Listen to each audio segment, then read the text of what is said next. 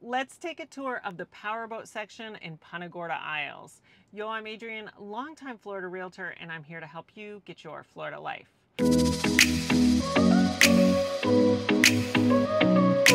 Happy Wednesday, everyone. If you're new here, new videos come out every Wednesday. This is the second installment in a playlist I'm creating where I take you around a neighborhood in Southwest Florida and really explain the advantages and disadvantages of the neighborhood. I have one that I did before this on Burnt Store Isles, and I have many more to come. So check back on the channel or subscribe to follow along.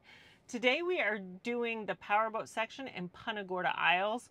We often call it PGI for short, so you'll hear that from me for most of this video because that's what I'm used to calling it. Now let's get started.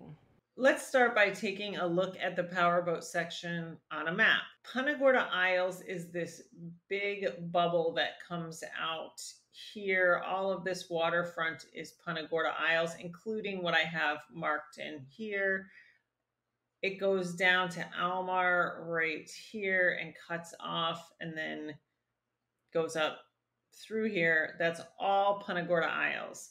The powerboat section is this middle part here that I've marked.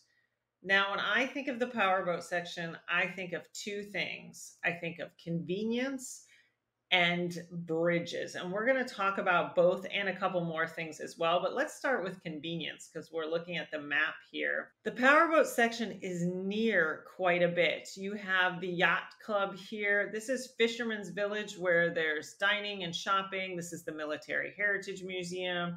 Visual Arts Center. We have the library and history park where there's not only cool historic buildings, but on Sundays they have the farmers market, uh, this is the Hounds of Henry Street Dog Park. This is the Punta Gorda Isle Civic Association. And then up here we have Gilchrist Park.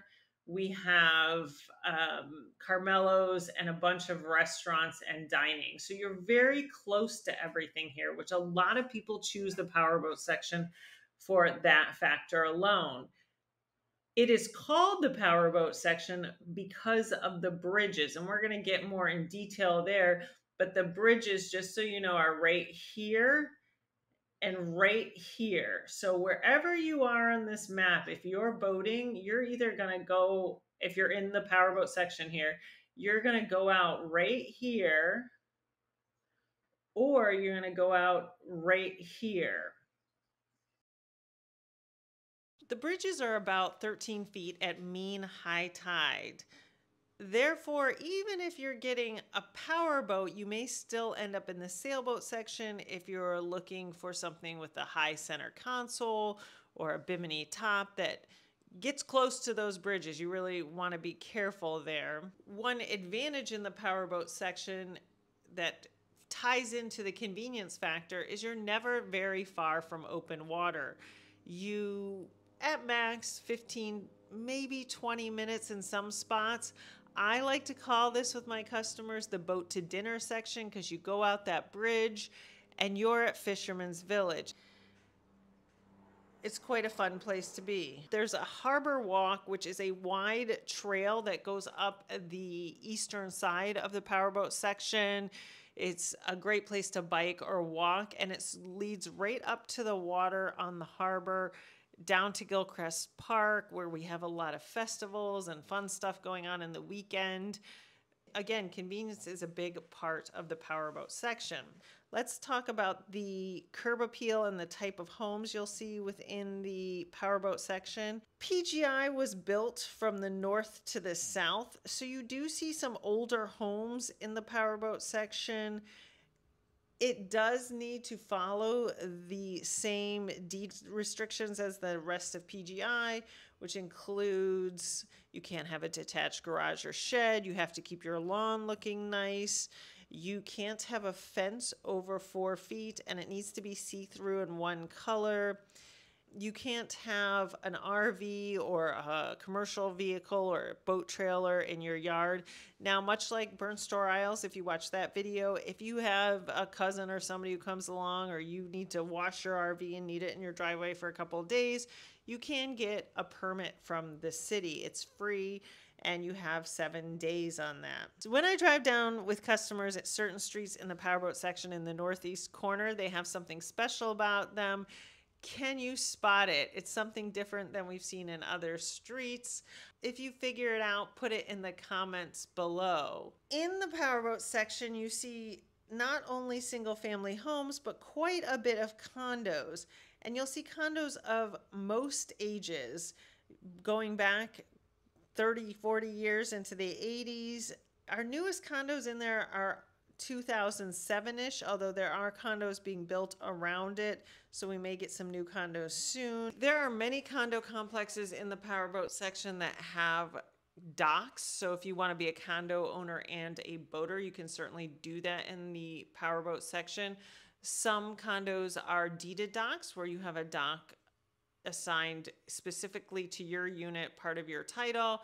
Some of them are first come, first serve. It just depends. First come, first serve means that you get a dock assigned to you, but it may not be a specific one, you know, may not be the same one the last owner had. On the other hand, if you're not a boater, docks do add to the price of condos. You may look at some of the off the water condos that are close to downtown, right off the harbor walk.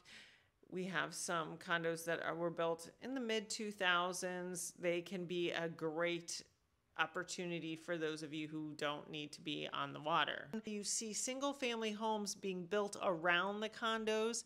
That is because they the downtown has taken off so much. 20 years ago the downtown wasn't as nice as it is now. Down, now a lot of people want to live na- near downtown so they will put their houses next to condos. So you see sometimes older condos next to brand new homes. It's subjective whether this is a problem or whether you enjoy this. Everybody has a different opinion on it. Let's talk about price. I get a little pushback sometimes is when I tell people the powerboat section is less expensive than the sailboat section. Usually I get pushback from sailors. If you were to take a similar home in the powerboat section and put it in the sailboat section, you would see an increase anywhere from 60,000 to sometimes $100,000 depending on where. To give you a basic idea of the price difference, I looked up the median price of a home in the powerboat section Currently, it's 824,900.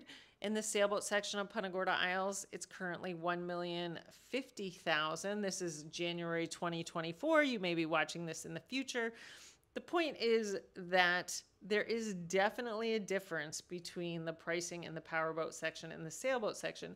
We do see big, expensive homes in the powerboat section. However, if you were to put that same home in the sailboat section on similar access to open water, it would be more expensive because you can have a powerboat in the sailboat section, but you cannot have a sailboat in the powerboat section because of those bridges. I hope that gives you a good idea of what our powerboat section is all about. If you have any questions, you know you can always reach out. Thanks for watching. I'll talk to you next week.